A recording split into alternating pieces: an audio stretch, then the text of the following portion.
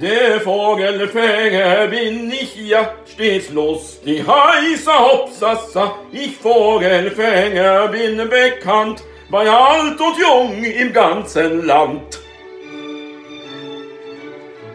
Ein Netz für Mädchen möchte ich, ich fing sie dutzendweise für mich.